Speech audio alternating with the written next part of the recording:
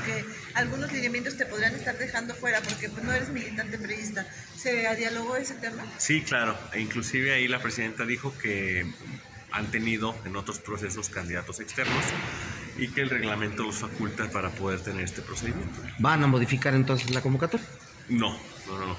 Lo que se va a buscar ahorita es primero poder tener eh, bien claro quiénes son los que vamos a participar. Como tú sabes, pues no asistió uno de los aspirantes, entonces se va a hacer eh, el esfuerzo para poder ver si el tercer aspirante quiere participar o no. Sobre todo porque es importante tener muy claro quiénes vamos a participar porque esto puede eh, modificar la, la, encuesta o no, ¿verdad? Entonces no es lo mismo que participemos tres a que participemos dos.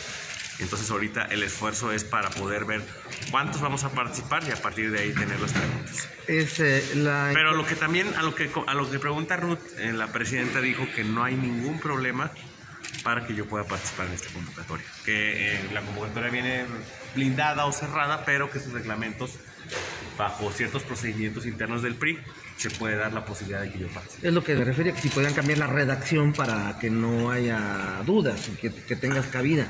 Tanto la redacción de la convocatoria no, pero que ante una petición de un servidor, ante una Comisión Nacional de Elecciones, me pueden dar este, esta facultad. ¿Qué otra cosa no te gustó de la convocatoria?